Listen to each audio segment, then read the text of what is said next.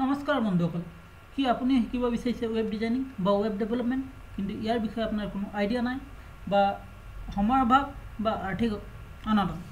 যি কি নহওক যদি আপুনি এইবোৰ পৰিস্থিতিৰ মাজত ফচি আছে তেন্তে এই ভিডিঅ' ছিৰিজটো আপোনালোকৰ বাবে হ'ব অতি গুৰুত্বপূৰ্ণ। কিয়নো আমি এই ছিৰিজত শিকিম ৱেব ডিজাইনিঙৰ বা ৱেব ডেভেলপমেণ্টৰ আটাইগুৰি সকলো। ইয়াত কি কি কি ছফ্টৱেৰ প্ৰয়োজন হয় আৰু ইয়াত কি কি প্ৰগ্ৰামিং লেংগুৱেজ ব্যৱহাৰ কৰা হয় আৰু ইয়াত মুঠতে ৱেব পেজ এটা বা ৱেবছাইট এটা কেনেদৰে ডিজাইন কৰা হয় কেনেদৰে বনোৱা হয় সম্পূৰ্ণ শিকিম।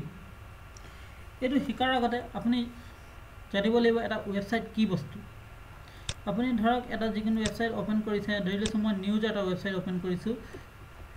নিউজ ইয়াত টাইপ কৰিছোঁ N E W S news গুগলত চাৰ্চ কৰিলোঁ নিউজত প্ৰথম ৱেবছাইট পালোঁ India today's dot in news ইয়াত ক্লিক কৰাৰ লগে লগে আপোনাৰ নিউজৰ ৱেবছাইটটো অ'পেন হৈ গ'লে চাওক ইয়াত ৱেবছাইট অ'পেন হোৱাৰ লগে লগে চাওক কিছুমান আখৰ দেখিছে ইয়াত টেক্সট কিছুমান আৰ্টিকল লিখা আছে আৰ্টিকলৰ ভিতৰত ইয়াত বহুত কিছুমান ইমেজ আছে। ইমেজৰ লগতে আছে বহুত কিছুমান লিংক আছে। মানে প্ৰথম যিবোৰ দেখিছে ইয়াত যিখিনি আৰ্টিকেল লিখা আছে ইমেজ আছে লিংক আছে এই সকলোবোৰ হৈছে একোটা পেজ এইটো হৈছে আপোনাৰ হোম পেজ যিকোনো ৱেবছাইট অ'পেন কৰাৰ লগে লগে আপোনাক হোম পেজলৈ লৈ যায় সিহঁতে। এইটো হৈছে হোম পেজ ইয়াত চাওক হোম বুলি ওলাই আছে ইয়াত। ইয়াত হোম হোম ক্লিক কৰিলে একেটাই আহিব এইটো হোম পেজে এই হোম পেজৰ পিছতে আপোনাৰ ইয়াৰ ছাইডত চাওক কিছুমান ইয়াৰ ইমেজ আছে ইয়াত লিংক আছে ক্লিক কৰিব পাৰোঁ। ইয়াত আছে ইণ্ডিয়া আছে মুভিজ আছে। যদি আমি মুভিজত ক্লিক কৰোঁ চাওক। মুভিজত ক্লিক কৰাৰ লগে লগে কি হ'ল? এই চাওক মুভিজত ক্লিক কৰাৰ লগে লগে এয়া মুভিজ নিউজ আপোনাক দেখিবলৈ পোৱা যাব। চিনেমা নিউজসকল তাৰপিছত ইয়াৰ ওপৰত ইয়াৰ ওপৰত অন্য এটা পেজলৈ লৈ গ'লগৈ। চাওক আপুনি এইটো আছিলে আমাৰ হোম পেজ ঠিক আছে? হোম পেজত ইয়াত টপ ষ্টৰিজ আছে। কিছুমান আৰ্টিকেল আছে মুভিছত ক্লিক কৰাৰ লগে লগে আপোনাৰ এটা অন্য এটা পেজলৈ লৈ গ'ল যিটো পেজত অকল মুভিছৰ ওপৰত থাকে তাত লিখা আছে। তাৰপিছত ইয়াত আছে আপোনাৰ স্পৰ্টছ এই স্পৰ্টছত ক্লিক কৰিলোঁ আমি। স্পৰ্টছত ক্লিক কৰাৰ লগে লগে আছে। আৰু এটা অন্য পেজলৈ লৈ গ'ল। য'ত আছে স্পৰ্টছ আমি স্পৰ্টছৰ নিউজ পাম অকল ইয়াত। এই সকলোবোৰ বিষয়বস্তু যিবোৰ দেখিছে ইয়াত লিংক এডেড কৰা বা টেক্সট লিখা বা ইমেজ দিয়া বা আৰ্টিকল লিখা এই সকলোবোৰ হৈছে একো একোটা ৱেব পেজ আৰু এই বিভিন্ন ধৰণৰ পেজবোৰ মিলি একো এটা গঠন হৈছে একো একোটা ৱেবছাইট ঠিক আছে? যিকোনো ৱেবছাইট অ'পেন কৰিলে আপুনি প্ৰথমে হোম পাব হোমত বিভিন্ন ধৰণৰ লিংক থাকে আৰু বিভিন্ন ধৰণৰ লিংক থাকে যিবোৰ আপোনাক অন্য অন্য পেজলৈ লৈ যায় আৰু এই সকলোবোৰ ৱেব পেজ মিলি এটা ৱেবছাইট গঠন হয়। আৰু এটা ৱেব পেজ গঠন হ'বলৈ বিভিন্ন ধৰণৰ টেক্সট আৰ্টিকেল আৰু ইমেজ বা ভিডিঅ' থাকিব পাৰে অডিঅ' থাকিব পাৰে। ইয়াত আমাৰ এইটো ৱেবছাইটত বিশেষকৈ অকল আৰ্টিকেল আছে। ধৰক আপুনি ইউটিউব এটা ৱেবছাইট দিছে তাত ভিডিঅ' আছে। আৰু বিভিন্ন ধৰণৰ অডিঅ' ডাউনলোডিং চাইট থাকে য'ত অডিঅ' থাকে। গতিকে এই সকলোবোৰ কালেকশ্যন হৈছে এটা ৱেব পেজ গতিকে আপুনি ৱেব পেজ ডিজাইন প্ৰথমে শিকি ল'ব লাগিব। তেতিয়া ৱেব পেজ ডিজাইন শিকাৰ লগে লগে আপুনি কেইবাটাও ৱেব পেজ ডিজাইন কৰিলে এইটো এইটোৰ লগত সংলগ্ন কৰিলে বাছ ৱেবছাইট ঠিক ৱেব পেজ ডিজাইনৰ বাবে আপুনি কি কৰিব লাগিব এতিয়া? ৱেব পেজ ডিজাইনৰ বাবে বিভিন্ন ধৰণৰ প্ৰগ্ৰামিং লেংগুৱেজ ব্যৱহাৰ কৰা হয়। মনত ৰাখিব ৱেব পেজ ডিজাইনিঙৰ বাবে বিভিন্ন ধৰণৰ প্ৰগ্ৰামিং লেংগুৱেজ ব্যৱহাৰ কৰা হয়। যেনে ধৰক জাভা হওক এইচ টি এম এল হওক H T M L five C S S হওক পি এইচ পি হওক এইবোৰ হৈছে প্ৰগ্ৰামিং লেংগুৱেজ আপুনি ইয়াত যিকোনো এটা লেংগুৱেজ শিকি ল'লে আপুনি ৱেবছাইটটো গঠন কৰিব পাৰিব। আমি শিকিম H T M L H T M এলৰ যোগেদি আমি ৱেবছাইটটো ক্ৰিয়েট কৰিম আৰু চি এছৰ যোগেদি ৱেবছাইটৰ ডিজাইনিং কৰিম। ঠিক আছে? আমি শিকিম প্ৰথমে এইচ টি এম এল তাৰপিছত চি এছ এছ এই প্ৰগ্ৰামিং লেংগুৱেজৰ যোগেদি আপুনি যিটো ৱেবছাইট বনোৱা হয় সেই বনাব যিটো বনোৱাৰ প্ৰক্ৰিয়া সেই প্ৰক্ৰিয়াটোক কোৱা হয় ক'ডিং ক'ডিং কৰিবলৈ আপোনাক মুখ্যতঃ এটা ছফ্টৱেৰ প্ৰয়োজন হ'ব সেইটো হৈছে নোটপেড ঠিক আছে? এইটো প্ৰায় উইণ্ড'জৰ লগত ফ্ৰী আহে যিকোনো উইণ্ড'জ হওক আপোনাৰ ছেভেন হওক এইট হওক এইট পইণ্ট ওৱান হওক নাইন হওক এই উইণ্ড'জ এক্স পি বিছটা যিকোনো উইণ্ড'জ উইণ্ড'জৰ লগত নোটপেড ফ্ৰী আহে। এই নোটপেডটো আপোনাক লাগিব ক'ডিং কৰিবৰ বাবে। আৰু ক'ডিং কৰা ৱেবছাইটটো আপোনাক চেক কৰিব লাগিব ন চাব লাগিব। চাবৰ বাবে আপোনাৰ প্ৰয়োজন হ'ব ব্ৰাউজাৰ এটা ব্ৰাউজাৰ ব্ৰাউজাৰ হৈছে ইউজ কৰিম কি আছে ক্ৰোম ব্ৰাউজাৰ আপুনি অন্য কিবা ইউজ কৰিব পাৰে ধৰক আপোনাৰ ওচৰত যি আছে ইণ্টাৰনেট এক্সপ্ল'ৰাৰ হওক یا ফায়াৰবক্স হওক মজিলা হওক ইউ চি ব্ৰাউজাৰ হওক এই যিকোনো এটা ব্ৰাউজাৰো আপুনি প্ৰায় ফ্ৰী পায়। উইণ্ড'জৰ লগত। উইণ্ড'জ হওক এণ্ড্ৰইড সকলোৰ লগত এইবোৰ ফ্ৰী আহে। ঠিক আছে? আমি এই H T M L document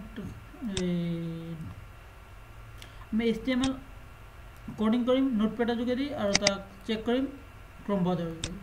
নোটপেডৰ সলনি যদি আপুনি নোটপেড প্লাছ প্লাছ ব্যৱহাৰ কৰে তেতিয়া অলপ আপোনাৰ সুবিধা হ'ব। নোটপেড প্লাছ প্লাছ আপুনি ডাউনলোড কৰিব পাৰিব। ডাউনলোড লিংক মই তলত দি দিব পাৰিম। মই notepad plus plus already download কৰি থৈছোঁ। ঠিক আছে?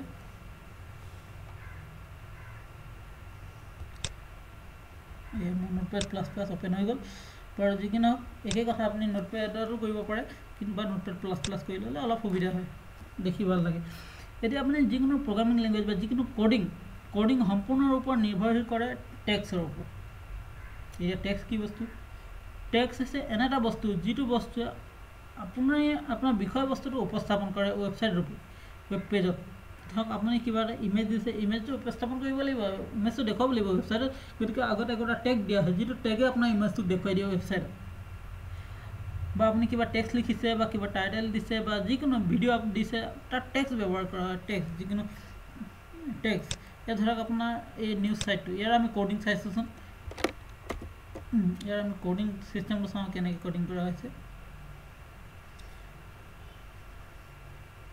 চাওক এই ছাইডত দেখিবলৈ পাইছে আপুনি ৰাইট ছাইডত এইখিনি আছে ক'ডিং ক'ডিং চাওক বাছ আপুনি ক'ডিংটো দেখুৱাই দিছে ইয়াত বিশেষ আপুনি বুজি নাপাব এই ক'ডিংটো ঠিক আছে আমি ইয়াত এই নোটপেডত এটা যিকোনো H T M L document আৰম্ভ কৰিছোঁ এটা ক'ডিং আৰম্ভ কৰিছোঁ। ক'ডিং আৰম্ভ কৰিছোঁ টেগৰ যোগেদি। টেগৰ বিভিন্ন ধৰণৰ কাম থাকে। আপুনি এই টেগবোৰ যদি সম্পূৰ্ণৰূপে শিকি লয় কোনটো টেগৰ কি কাম আৰু কেনেদৰে ব্যৱহাৰ কৰা হয় তেতিয়া আপোনাৰ যিকোনো প্ৰগ্ৰেমিং লেংগুৱেজত অকণো প্ৰব্লেম নহয়। গতিকে আপুনি আমি যদি এইচ টি এম এল শিকিম গতিকে H T M L coding আৰম্ভ কৰিছোঁ প্ৰথমে। অকল আজি এইচ টি এম এলৰ ষ্টাৰ্টিংটো শিকিছোঁ। H T M L coding আৰম্ভ কৰিবলৈ হ'লে আপোনাৰ প্ৰথম টেগটো হ'ব H T M L H T M L টেগেৰে আৰম্ভ কৰিব লাগিব কিন্তু টেগ এনেদৰে লিখা নহয়। টেগ লিখোঁতে সদায় গ্ৰেটাৰ দেন আৰু স্মলাৰ দেনৰ মাজত লিখিবলগীয়া হয়। এইচ টি এম এল এনেদৰে লিখিবলগীয়া হয়। গ্ৰেটাৰ দেন স্মলাৰ দেনৰ আণ্ডাৰতহে টেগ লিখে। আৰু যিকোনো টেগ আৰম্ভ কৰিলে তাক ক্ল'জ কৰাটো অতি গুৰুত্বপূৰ্ণ কথা। ক্ল'জ কৰাটো বাধ্যতামূলক। এইচ টি এম এল এইটো হৈছে আৰম্ভণি আৰু সামৰণি মাৰিবলৈ হ'লে এইটো হ'ব এইচ টি এম এল এইটো H T M L close tag ঠিক আছে? এইটো H T M L close tag আৰু এইটো হৈছে H T M L close tag আৰু এইটো হৈছে এইচ টি এম এল আৰম্ভণি টেগ এই দুটাত আপুনি টেগ মনত ৰাখিব। ইয়াৰ ভিতৰত এই দুটা টেগৰ ভিতৰতে আপোনাৰ সম্পূৰ্ণ বিষয়বস্তু থাকিব। আপুনি যি যি বস্তু লিখিব ধৰক ৱেব পেজত যিখিনি ডিজাইন কৰিব ৱেব পেজত যি যি বস্তু এড কৰিব সকলো এই দুটা পেজৰ মাজত থাকিব। ঠিক আছে? আপুনি এতিয়া মন কৰক আমি নোটপেড প্লাছ প্লাছ লিখিলোঁ কি ইউজ কৰিছোঁ কি কাৰণে? এ চাওক আমি যদি ইয়াত এইচ দিলোঁ এ চাওক এইচ টি এম এল নিজে আহি গ'ল। আমি এণ্ড ডাউন কৰি এণ্টাৰ মাৰি দিলে এইচ টি এম এল আহি গৈছে। কিন্তু আপুনি নোটপেডত হ'লে আপুনি সম্পূৰ্ণ লিখিব লাগিব। এইটো দি পেলাই H T M L H T M L close সম্পূৰ্ণ আপুনি টাইপ কৰিব লাগিব আৰু আপুনি যদি নোটপেড প্লাছ প্লাছ ইউজ কৰে তেতিয়াহ'লে তাত আপোনাৰ আহি যাব যিকোনো টেক্স ইয়াত এইচ টি এম এলত ঠিক আছে এইচ টি এম এল ডকুমেণ্টছটো আমি ক্লিয়াৰ কৰিছোঁ এইটো এইচ টি এম এল ডকুমেণ্টছৰ আণ্ডাৰত প্ৰথমতে দুটা পাৰ্ট থাকে এইচ টি এম এলৰ যিটো মানুহ জব পাৰ্টৰ বস্তু মানুহৰ ধৰক এইচ টি এম এলৰ দুটা পাৰ্ট থাকে। প্ৰথম পাৰ্টটো হৈছে হেড দ্বিতীয় পাৰ্টটো হৈছে বডি গতিকে আমি হেড টেগ আৰম্ভ কৰিছোঁ।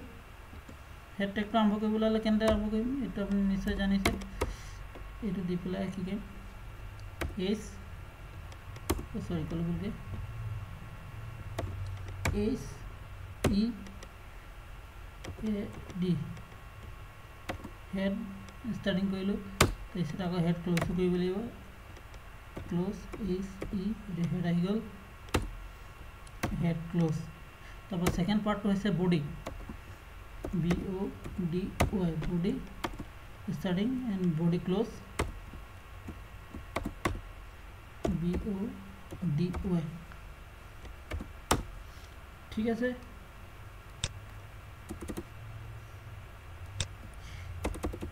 এতিয়া মনত কৰিব আপুনি এই দুইটা টেগৰ কাম কি এই বডি টেগ শেষ হ'ল বুলি ক'লে বডি টেগ শেষ হোৱাৰ লগে লগে এল টেগ শেষ হৈ যায়। কাৰণ আপুনি যিখিনি বস্তু তাত উপস্থাপন কৰিব যিখিনি দেখুৱাব সেই সকলো বস্তু ইয়াৰ ভিতৰত থাকিব এই বডি টেগৰ ভিতৰত থাকিব যিখিনি আপুনি টেগ লিখিব। আৰু যদি আপুনি যিকোনো লিংক এডিট কৰিব বা ইমেজ এডিট কৰিব এই প্ৰায়ভাগ এই হেডৰ টেগৰ আণ্ডাৰত থাকিব বা টাইটেল টাইটেল দিব আপুনি পেজটোৰ নাম দিব ইয়াৰ আণ্ডাৰত থাকিব। বিশেষকৈ কিছুমান লিংক বডি আণ্ডাৰতো থাকে এইবোৰ আপুনি ক্ৰমান্বয়ে পিছত পাই আহিব। গতিকে আমি প্ৰথমে H T M L tag আৰম্ভ কৰিব লাগিব তাৰপিছতে এইচ টি এম এল টেগৰ ভিতৰত থাকিব হেড টেগ আৰু বডি টেগ নামৰ দুটা পাৰ্ট ঠিক আছে?